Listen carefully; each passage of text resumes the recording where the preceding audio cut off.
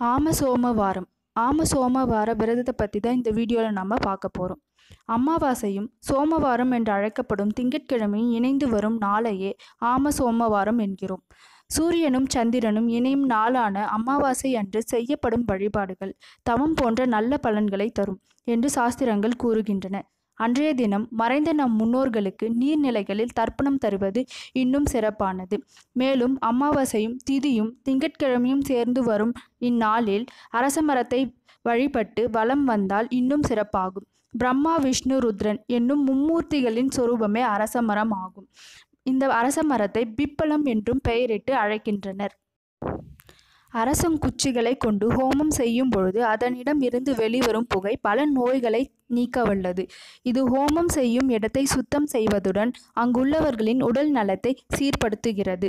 இம்மரத்தை அஸ்வதம் என்றும் கூறுவர். அஸ்வதம் என்ற சொல்லிற்கு இப்புனித மரத்தை வணங்குபவர்களின் பாவங்கள் மறுநாள் இருப்பதில்லை என்று பொருளாகும்.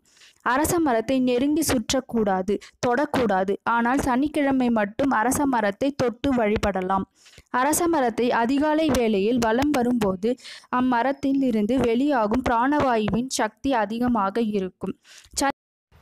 சந்திரனின் ஆதிக்கம் மிகுந்த அமாவாசையும் அவனுக்குரிய திங்கட்கிழமையும் சேர்ந்து வரும் நாளில் அதிகாலையில் அரச மரத்தை வழிபட்டு தங்கள் சக்திக்கு ஏற்ப பழமோ அல்லது வேறு பொருட்களோ மரத்தின் முன் சமர்ப்பிக்க வேண்டும்.